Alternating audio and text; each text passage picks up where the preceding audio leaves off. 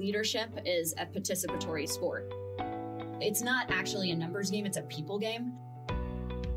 We're going to get there. I, we will. And it's probably sooner than we think. Welcome to A Seat at the Table, a podcast for public service professionals by public service professionals. This podcast series is presented by Statewide Learning Services, a division of the Office of Management and Enterprise Services. Taking her seat at the table today to discuss crisis leadership is Shelley Zumwalt, Interim Director of the Oklahoma Employment Security Commission. We are here um, at our podcast, A Seat at the Table, with Shelley Zumwalt, and we're so excited to have you here. Thank you so much. I can only imagine what your schedule looks like. So the fact that you've taken the time out to do this with us is fantastic.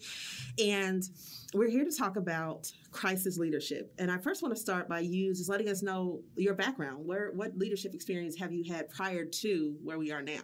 Well, first of all, thank you for having me. This is um, super exciting that there's this forum to talk about these issues because I think that state government, a lot of times we deal with something and we move on, and you know the lessons learned there. Sometimes there's not that retrospective that will um, you know allow us to learn from them. And I, I'm really hopeful that while the state you know handles this current economic and unemployment issue, we can look back back on it and learn lessons and make improvements so that when we encounter, you know, our next challenge, we are not having to learn the same lessons all over again. Um, my experience is interesting. I've been in state government for about a decade now. Um, I originally started off as a television reporter, which has really been helpful in my current position. Um, in government, I started out as a budget analyst. Um, and so that's kind of an interesting, when people find that out, they're like, what? That, you know, how'd you, how did that happen? And um, I love policy. I love it so much. Um, it is a it's so interesting to me. And as a budget analyst, I got to look at laws and make recommendations and look at financial impacts or even unintended consequences of legislation that was really super interesting to me. And you know, I could geek out for hours on. Uh, from there, I moved into being the PIO for OMES, and then um, did some communications uh, work for Health Choice, our health insurance provider, and then became the director of OMES Public Affairs, ran our public affairs department, and also worked for Governor Fallin's office as her public affairs director. And that was such, you know, um, important experience to have because that perspective from that office of all of state government is something that I utilize even today. Because I think state agencies a lot of time get their little lane and don't realize that actually this does affect other branches of government. It does affect other agencies. And how do we holistically look at that and say, is are my actions going to benefit the state as a whole, or is this going going just going to have a minimal impact for my agency. And so that's that's kind of my my very long version of my career. Um, now at OESC, well, actually, I forgot one position, um, a couple of them. Now that I think about it, I um, when I was public affairs director at OMES, I actually after that I went on as chief of communications at Healthcare Authority, and um, then while I was there, Steve Harpe became the director of OMES, and meeting Steve was one of those leadership moments for me because he is such an impactful leader. Um, I every day he says something or does something that I'm like, okay, file that back because that is good leadership right there. And so um, right before I came to OESC, he um, named me as his chief of innovation, and I got to serve in that role at OMES prior to OESC, and um, that was that was invaluable as well, even if it was a short time. When the opportunity to serve as the interim director of OESC was presented to me, um, I am going to be real truthfully honest and say I did not immediately sign up. I had to think about it because it is a huge challenge, but I would not have taken it if I didn't think that I could fix it. Thank you. Thank you for that. So that's your history. Talk to me about right now as the interim director over OESC in the midst of this crisis. What are some of the things that you've learned so far?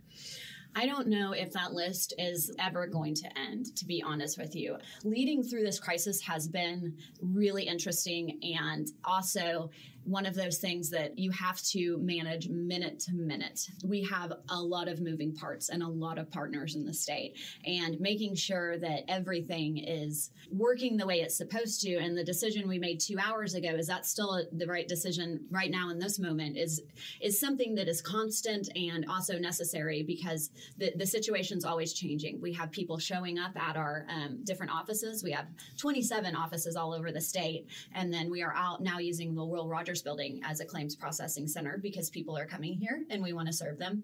But um, leadership during a crisis, I think, is I, when you first approached me about it, I was like, me, because I definitely consider this a crisis. But at the same time, it's it's one of those things that I think the the look back is going to be really important. But um, learning those lessons to the maximum degree when you can is also like soaking it in, right? Mm-hmm. Because I, I'm sure I'm going to make mistakes. I mean, I'm, I know I already have as far as oh, I wish I would have done that, but like learning that, cataloging it, and saying, hey, that needs to be impactful. I don't want to do that again has been really something that I have to concentrate on because there's different personalities, there's different partnerships that I'm like, why do we do? Oh, we do that because it's law. Okay, good.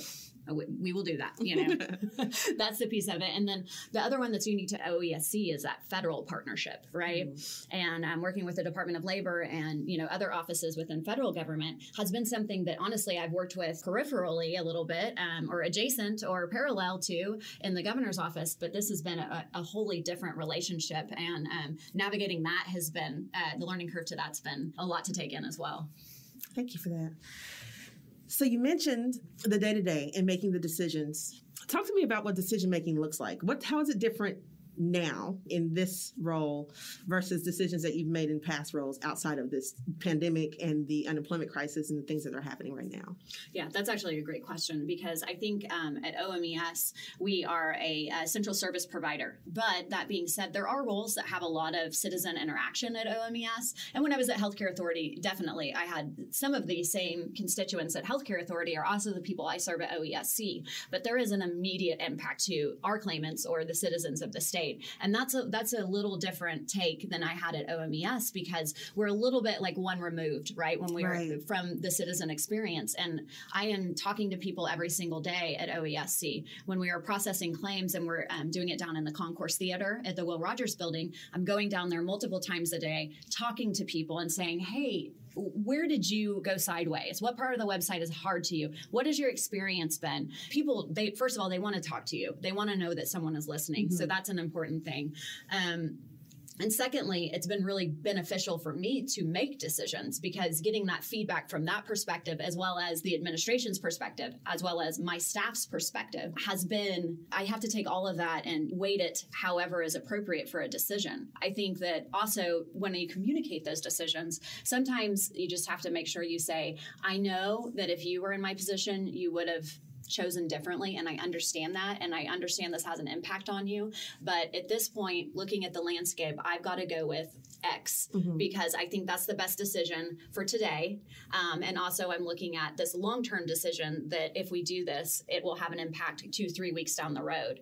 And honestly with this situation specifically with COVID I'm always in the back of my mind thinking well as the cases rise like what if we're in a situation we were in in April again? Like how does this how do we mitigate that? And yes. I don't know know if, if I have an answer how we do that holistically. If I did, I would be probably I, I, would give you my magic bottle. But um, that's always in the back of my mind, right. right? Because we are making decisions for right now, minute to minute. But that being said, that what the next couple of months looks like could vary so widely. And I don't know if, as a nation and a state, and even as an agency, if we've ever had that completely up in the air, we can't really plan for mm-hmm. what's going to happen. We have to be ready to pivot really quickly. Absolutely. Making decisions in a place of uncertainty requires a lot of flexibility and adaptability. It does. Definitely.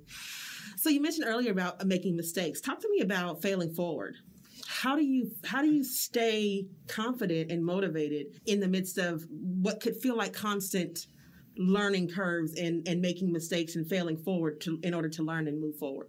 Yeah that's a that's another great question. Um, i think that immediately what comes to mind for me is uh, i think i have an asset that not everybody has but they don't necessarily need it in in whatever role they're fulfilling. But i, I actually really like change. Um, we went through kind of my career i've only been in state government for under 10 years and i've had i think 11 different positions within that which is kind of like what? That's crazy. I, if i was looking at me i'd be like what's wrong with her? But um, it's because I've been able to to jump into roles that needed a quick decision maker, crisis manager, and then once that's fixed, jump out. And I think that has really well prepared me for this. As far as failing forward, you know, I think every time I enter into a new situation, which has happened 11 times now, I've, I've gotten more my ability to assess the personalities around me has gotten better. And that happens with age too. The, the same things I would do at 32, I'm not going to do at 41, right? Mm-hmm. And you kind of, your, your rough edges kind of get smoothed out. So I think, honestly, I've been shown a lot of grace in my career because I know there's, if I look back on some of the maybe decisions I made and didn't communicate as effectively, as, as effectively as it probably would have been necessary, or have discounted processes. Mm-hmm. Um, I see that with my agency right now, right? Because they have, they've done a lot of things the same way for a really, really long time. And um, right, wrong, or indifferent, we can't do the same thing in 1980 that we're doing right now in 2020. And I see that in trying to carefully unwind that and deal with the personalities and the the attachment people have i think. I am not going to stay in a career for 40 years. Like i've always already proved that. But there are people in state government that know they are going to retire at that agency. And for them that change is really hard. And I, I i think as i've gotten better at failing forward and assessing the situation and saying okay this is this person's safe spot. If i can maintain that or communicate what the change is going to do to that safe spot in a way that they feel like they they know what's going to happen next. That learning that lesson and, and using those communication skills to both of our benefit, I think, has been probably that learning curve that you look back and you kind of wince and go, "Oh, I wish I would have done that better." Right. Absolutely. yeah. Absolutely. It, very vital points uh, as far as dealing with the people and the personalities and having to really factor that in in your decision making and how you communicate out those decisions. What would you say to your people right now as they're going through this crisis, as a leader of, of individuals who are dealing with a great amount of change? all at once in the midst of a pandemic and you know social unrest and all these other types of factors that are happening right now what do you say to them to keep them encouraged and motivated and focused on moving forward? Yeah. Um, well, first of all, the first thing that comes to mind is the people at OESC are just good, salt of the earth people. I think that um, we have a situation right now where people are angry and they're dealing with frustrated people every day. And then those people are then getting help and turning around and sending me emails saying, I expected it to be combative or a situation where I wasn't going to be heard. And your people have made it so much better than I thought it would be. Right. And so I want to say first that, like, that is recognized. That is an asset that we have as an agency that is not going to show up on financial statements or KPIs or anything like that. Those things have a place, but the fact that like we turn people that have been feel feel disenfranchised by this process and then turn them around and say, you know, one lady, um, this was earlier last week, she got her claim fixed and she texted me afterwards and said, and I, she she just happened to have my number. It's it's been shared, so it's I don't want to make. She's not my my friend per se, but you know everyone's my friend right now. And um, she texted me and said, I'd like to buy Sonic drinks for all of your staff that's been helping with claims. Can you tell me how many I need to bring and what they want tomorrow? That type of situation is what I want to recognize about them and acknowledge that before I talk about, hey, you're doing a great job, but next year is going to be different because I think that recognizing that there's still something about that place that is needed and necessary and the way that they're conducting themselves uh, will always have a place in that agency. But as for how we do the process, as far as maybe adjudicating claims or processing claims through a system, or even how we deal with the day to day business of the agency is going to change. And that does not mean that the human factor is not necessary. AI is not meant to replace humans per se. It's meant to free up time so humans can do the things that AI can't. And those are the talking to the person that's crying because she hasn't got her benefits in six weeks. AI can't do that. Everyone has a to do list, right? And there's always things on that that never get done. And so if we replace aging technology with better processes or automation in that, that's so that we can get to those things at the bottom of the list, not so that we can eliminate a person, right? And so that's that's kind of what I would we're at the path would take and, and talking to him about it because we have to change. I mean, change is necessary. Change and and the way that the administration views the relationships between agencies, regardless of whether we're an appropriated agency or not, it's all taxpayer dollars, whether they're federal or state, you know? And we need to be able to adapt and change so that we are being a good partner agency to all of the state agencies instead of looking at from just our narrow perspective. It's fantastic. I am such a huge fan of anything that deals with the people piece of leadership, um, understanding that there's so much value. Uh, I really like what you said as far as recognizing the gem that you have and just realizing the polishing that's needed in certain areas. And so I think that that's fantastic. In the wake of uh, where we are as a country, with social unrest, uh, Black Lives Matters, uh, inclusion and diversity, how do you factor in inclusiveness uh, as a whole into the decision making that affects right now and the decision making that goes into the updates, the process changes, the the people piece of moving forward as an agency? I like that question a lot. Um, I'm going to give you an example of something I did. I think that harkens back to your question before about failing forward and like how I inadvertently sent a message I didn't mean to, and like how we corrected that because I think it's an inclusive message. Um, one of the things that we did really early on when I became interim director was we processed a backlog that had been present there, right? Um, it was necessary. It, you know, we did it quickly and it was something that I knew enough about to be dangerous, and I'm still confident in that decision. But in communicating it, I think I the message I sent was somewhat was not inclusionary and it disenfranchised people, and that was not my intention. Um, we we did process the backlog, but the backlog is a moving number. People can go in and out of the backlog week to week. Mm-hmm. You know this because yeah. you work there, right? And it's it's one of those things that um, it's not a static thing that you can say we're done. And in doing that and saying, yes, I hit my goal, I processed the backlog that was there when I started, the message that was sent to some of these people was, I'm not there. You don't know that I'm having problems. You don't know about me. Mm-hmm. And that was one of those failing forward moments where I was like, I need to make sure that if I'm making a statement, it's not exclusionary because these people felt like uh, what it sent to them was they're not included, mm-hmm. right? And that's never what I want to do. I don't want a single mom that hasn't been paid in eight weeks or that's paid for one week but not seven yeah. to get that message and to say, oh no, they don't even, she doesn't care about me mm-hmm. because I absolutely do.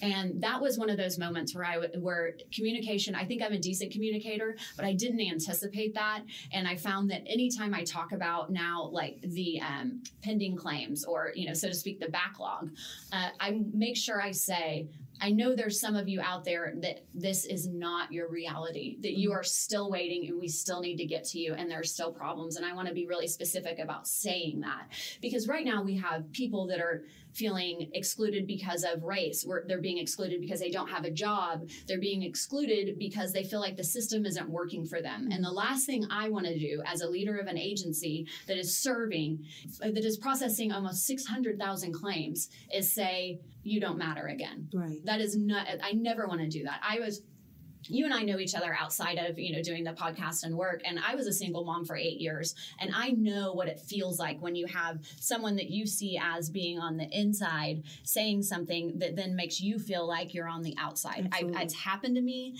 It's, it'll probably happen again. I'm not immune to it, but I definitely don't want to perpetuate that. And I don't want to make a system that's hard for certain people, right? right? It may not be hard for Bob, but it's really hard for Jenny. And then for me to say, well, Bob got help. So Jenny, something's wrong with with you. Right. And that that's that's one of those things that I've really had to I, I don't want to say I walked back what I said because the statement's still true, but it was true and it also made people that were already feeling bad feel worse. And that was something that I learned that lesson. I've been really careful since then because every single person that is should get benefits, that qualifies for benefits, should get benefits. What category they're in doesn't really matter. Right.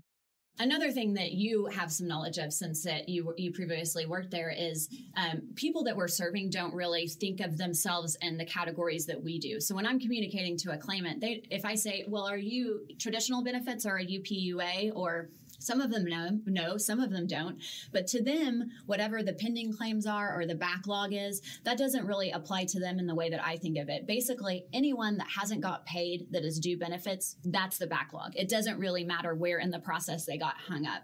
And that was another lesson I learned too, because the way that we were thinking of it was very technically. And in communicating what I did at the very beginning, I realized it, it's not actually a numbers game, it's a people game. And if people don't feel like they're being counted, then that's a big issue. And that's the last thing that I want to do is discount people that are already hurting. That's fantastic. I love that. It's not a numbers game, it's a people game. That's who we're here to serve you're absolutely right when you say that people don't categorize themselves. There's a level of knowledge and understanding about a system for me as an outsider that I'd have to understand to even know where I fit. And so when you have people who are helping, your staff who are helping these individuals How do you get that message down the ranks so that they're communicating it out to the people and not separating them or categorizing them or even communicating with them from that perspective, from their internal perspective, but reaching the customer where they are in their knowledge base?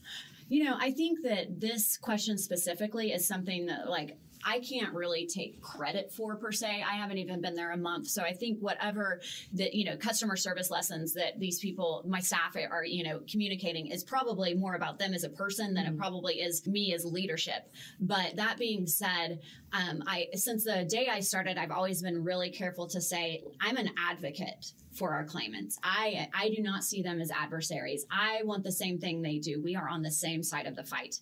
And I think me saying that and then talking about people as opposed to numbers has really um, helped my staff to that trickle down effect of, and I don't say that with Reaganomics, um, more more so that I'm communicating something a value that I have, and that value is we are there to help people. We are not there to make them feel worse or to uh, try to not give out benefits. Um, we are there because there's people that are entitled to benefits that have been lost in the system, and we need to help them find a path. And right now, we're dealing with a really big group of people that have never had to deal with unemployment and that's the PUA group. That is that has been, you know, a challenge and continues to be a challenge. I think that you asked how do we communicate how to navigate this to them? I would argue that we haven't effectively done that just yet. We are and we're figuring out what the needs are, but it's been really difficult to pinpoint this is where this person dropped off. This is why this person didn't finish their application or isn't filing their weekly attestations. There's so many points in that process where we're, we're losing people and we're hitting them one by one, right? We're getting those people, we're educating them. But we live in a time right now where people don't answer their phones. I mean, in, in the way that we're trying to communicate, the, the whole phone thing, it still mystifies me because I don't think that that's actually an effective way to communicate with people anymore. But it is really what we have. Some people don't check their email. We're, we're, we've got a lot of ways that we're trying to reach people that for uh, whatever reason is hit and miss. And so trying to make sure that we're getting the message to people saying, this is where you're tripping up. Don't do this again. And I think that's where, when we're seeing people at our offices, that's where that's actually helping quite a bit, is because we have claim agents that are helping people personally. And then we move that person to a computer and say, now you do it. And that person stands with you, watches you do it. And I think can we do that with every single person? No, that the volume we can't. But that being said, that model mm-hmm. I think is one we can replicate because it's it's a moving target for each person. Discharge.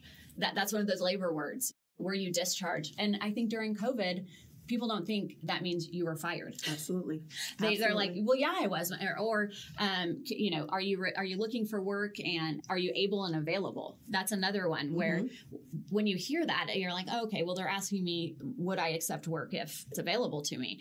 But some people's jobs have not returned and they're not available. And i think those are kind of those are the challenges that we're having to hit not on a hey let's mass email people. We can still do that. We can still try to call people. We can still do all of that stuff. But i think it's been proven that we also need there's a secret sauce there. There's another group of group of people or avenue that we need to figure out to reach these people or we're never going to get out of the cycle of thousands of people needing assistance every single week Absolutely. because they're going to keep making the mistakes and they're going to be our frequent flyers that can never master the system. And so that I think is a really long answer to your question about systems and people and everything is that there's not really one right answer. There's not really one way to communicate with all these people. It's a it's a, an array of ways. And how do we do that with maximum impact? And I think we've got some things that are in the works that will have that maximum impact, but but like anything, you know, you have to manage the day to day. And then on top of that, plan for something that's going to have a really big effect. And juggling that has been a challenge as well, but we can do it. Absolutely. Absolutely. What would you say to other state leaders that are having to learn on the fly, trying to figure out how to manage their staff, their functions, move forward, thinking through what to do in the wake of COVID and the aftermath of it. What would you say to those leaders who are trying to figure out how to be more flexible, adaptable, quicker on decision making? Well, that's a, that's a, two things come to mind. One is I, if you've emailed me and I haven't emailed you back, I'm so sorry. Um, I'm trying to. I, I, I feel better about it this week than I did last week, but I'm a um, cl- zero my inbox every day person, and that just I all laying it all out there. That is not happening right now, but that's okay because if my value is zero inbox instead of managing people in a crisis, then I'll have a clear inbox, but my people will quit. They will not. We won't be serving claimants. We won't be doing all these other things that we really need to be doing. So that's the piece of it that I think is a really big lesson and has been for me, honestly, is that you're always making choices. Even if you choose to do nothing, you've made a choice. And figuring out what I can do with that 30 minutes I have in between meetings, what is going to have the maximum impact in that 30 minutes? Is it returning phone calls? Is it organizing an event? Is it checking my emails and trying to return as many as possible? There's always going to be something that's fighting for my time and really prioritizing that having to say no sometimes, having to say no to people I don't want to say no to. That has been a challenge in that I always know how, much how much time do I have before the next thing? What are my top 10 things I have to get done today? And then making sure those moments I have in between are devoted to those top 10 things. And then anything else that comes and I have time for, I will get to it. Now, am I always successful? No, I'm not perfect. That list, it's like, it, mm-hmm. it's always never ending. But for the most part, that's something that for me, uh, jumping into this position and immediately having 110% need of my time, I've had to really pick my value system with my hours in the day, however many they are. What do I value? What do I have to get done? And what are the things that if I let it slide just a little bit are going to have a really detrimental impact? Or can I set that to the side and say, okay, I'll carve out time over the weekend to do that? Or that has been for me, someone who um, likes structure and order, and uh, you know, it, it, really got used to being able to be hyper organized, you know, so that I could be successful. That's the one thing that I think it, to other leaders when you're managing a crisis, it is if you don't have enough time from the first minute of your day, how are you going to devote that time knowing that you're always going to run at a deficit? And uh, that that that for me has been uh, uh, that's been it's not been tough, but it's been something that I'm always having to do a temperature check to make sure I'm devoting my time in the right areas. What does self care look like for you in this process? And how do you, if you encourage your staff, what does that look like for encouraging them to also participate in self care? Gosh, great question. You're good at this. Thank you. Yeah, if you if you ever want to be a therapist, I think that um, I would be your first customer because I'm like, wow, self care. Um, that's actually where I feel like I'm supposed to be. Like that's been the, the what I've been running from my whole life. You'd be so good at it. You'd you. be so good at it. Um, so, self care, I think it's super important. I think that it gets a lot of um, backlash because sometimes it's, you know, taking a bath and other times it's getting a massage or whatever. But I think, like, really at its basis is what do you need so that, you know, if you are working a 12 hour day, multiple days in a row, so that you don't do something you wouldn't do, right? Absolutely. Like yell at someone or make a bad decision or get angry when really you could have handled it better. I mean, that's kind that's self-care to mm-hmm. me, Absolutely. right? Um, for me, it's making sure that I don't I try to go home by 7:30 every night. I've been moderately successful at that uh, because I do have a husband. I have a daughter. My daughter's 13 and you know, she needs a mom and she's been really good about it, but me working 16 hours instead of 14 hours probably isn't going to make that much of an impact overall because those last couple of hours I'm probably not at my best anyway. And I could spend that time eating dinner with my family and recharging that way. Um, another thing that has been really important to me is um, I run, even though I shouldn't because I have knee problems, but I do try to do that four times a week and then work out. Because for me, I know some people hear that and they're like, oh, that sounds awful. and some days it does sound awful. But running for me, that's where I have my ideas. And think mm-hmm. through stuff. And it gives me 30, 45 minutes, sometimes an hour, to just really say, okay, if I'm going to let my mind wander on how to solve this problem, like, where am I going to end up? And sometimes they're great ideas, sometimes they're horrible ideas, and that's fine. That's great. But um, getting that time to just kind of disconnect and let your mind not be running, just achieving a really accomplishable goal. Mm-hmm. If that's running five miles or if that's working out the gym for 30 minutes, like that for me is kind of the basis of I'm going to be successful at this, this, therefore I can be successful for the really hard things the rest of the day. I would love to tell you I get enough sleep, but I don't um, at all. And for my staff, I think it's it's also it's some of the same things, but it's letting them know that I value that they have those breaks. Like I, I've said multiple times, hey, you don't have to do nine people back to back. Get up, go walk around, go, you know, do something that's not work related for 10 minutes every couple of mm-hmm. hours because you need to not hit that eh, all the way to 11 every single day by five o'clock. That's not necessary in order to help people right now. And making sure that we are enforcing, eh, and enforcing is the wrong word, but if, if, if I allowed it, I think the, the people that are helping out with claimants right now would work from 7:45 eh, in the morning to 7:45 at night. I know they would because Absolutely.